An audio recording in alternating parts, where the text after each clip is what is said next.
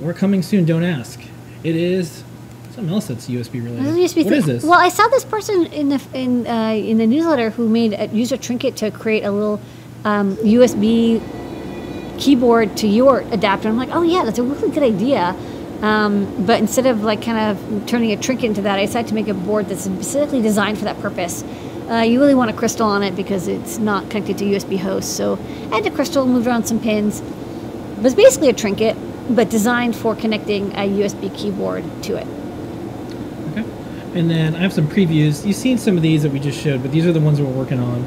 Um, That's open weather. yeah, this is weather booting up. I wanted to show what it looks like when these things um, boot up. It gives you a lot of information on the screen. If you ever tried to debug IoT applications, like what just happened, what's going on? Yeah, So you get a terminal, so you can you can have it tell you like Yeah. Connect to the access point, or you know couldn't find a hardware sensor or whatnot.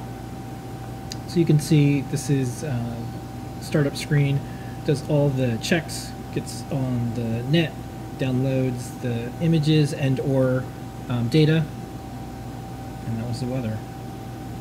And the nice Arial font. Yep. And This then here's the- some of the cool product things, and you can point it at any any site that, that allows you to get the images. Yeah, we have a couple other projects now where it downloads images. Um, you know, the, you can. We had a project that we prototyped where it showed off the latest Hackster yeah, I'm gonna show project, or the latest thing net, net Bitcoin worth. Like, say if you have like, oh, I have 3.14 bitcoins. Well, this is what you're worth. That's what you're worth right now. Wow, this went down. It was like 1200 Yeah. 12,000 last This is Hackster. Um, it shows the number of likes and views on a, on its Hmm. own Hackster project. Uh, this is a not out yet. Don't ask. This is uh Dave's working on this. This is a LCARS interface alarm clock that has things like weather and it.